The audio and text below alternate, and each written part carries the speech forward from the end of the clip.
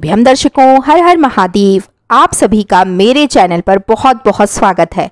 कैसे हैं आप सब? मैं आशा करती हूँ आप सब स्वस्थ और सुरक्षित होंगे। दर्शकों 12 सितंबर, श्राद्ध पक्ष की द्वितीय तिथि, साथ ही में सोमवार का दिन 16 श्राद्ध का पहला सोमवार है।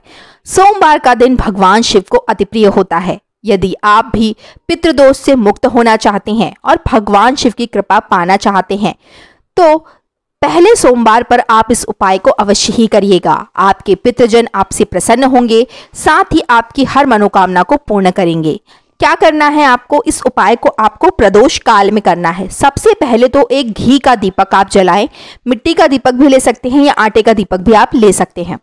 उस दीपक को आपको अपने पानी, पीने के पानी का जो स्थान है, रसोई घर में पीने के पानी के स्थान के पास इस दीपक को जलाना है शाम के समय।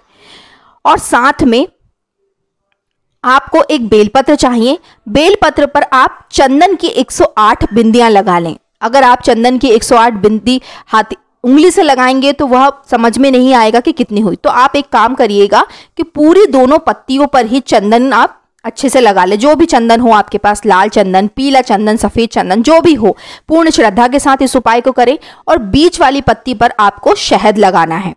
और फिर इस पत्ती को आपको शिवलिंग पर अर्पित कर देना है। अपनी मनोकामना को कहें, अपने पूर्वजों का ध्यान करते हुए इस बेलपत्र को आप शिवलिंग पर अर्पित करें। भगवान शिव आपके हर कष्ट को दूर करेंगे, साथ ही आपकी हर मनोकामना को पूर्ण करेंगे। इस एक उपाय को आप अवश्य ही करिएगा। सोमवार के दिन आपको अवश्य ही लाभ प्राप्त होगा। श्री शिवाय नमस्तुभ्यम दर्शकों।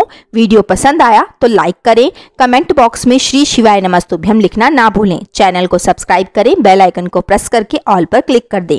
श्री शिवाय नमस्तुभ्यम दर्शकों, हर हर महादेव, ओम नमः